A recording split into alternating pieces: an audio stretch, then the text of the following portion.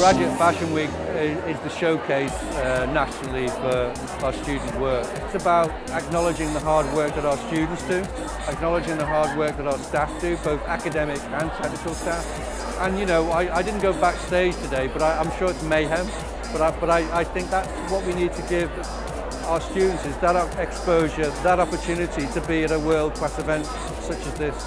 That's why I came to study at UEL because it had the opportunities of Graduate Fashion Week, which I wanted to be part of. It's so different and just seeing something that I've made and seeing my name on the screen in front of a thousand people, like, makes me feel really good. It's brilliant.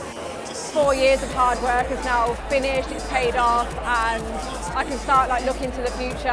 Like we've been coming before we came to university throughout our degree we've been coming to the shows each year and I think it's just a good platform for students to get their work out there, to be spotted by um, industry, to be offered jobs. I mean, um, a girl yesterday on our course, um, she won an award on the first day.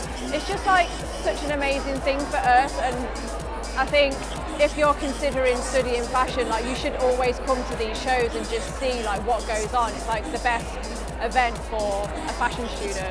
I teared up a little bit, it just feels like everything's done now and it was a relief to see it and I think it looked so good. It was amazing to win the award, it was the best feeling in the world. It was very, I was shocked and I was so happy that hard work been recognised in marketing and it was very overwhelming yesterday as well. Been weekend of emotions. I feel the students did amazingly well. Really, really proud of all of them. Um, they've worked very hard all year um, and obviously it comes together at the very end. Uh, a lot of work from staff, other students supporting them as well, friends and family. Um, and it's just a huge celebration of everything. I'm feeling good about it, really good. You know, I'm really happy for the students.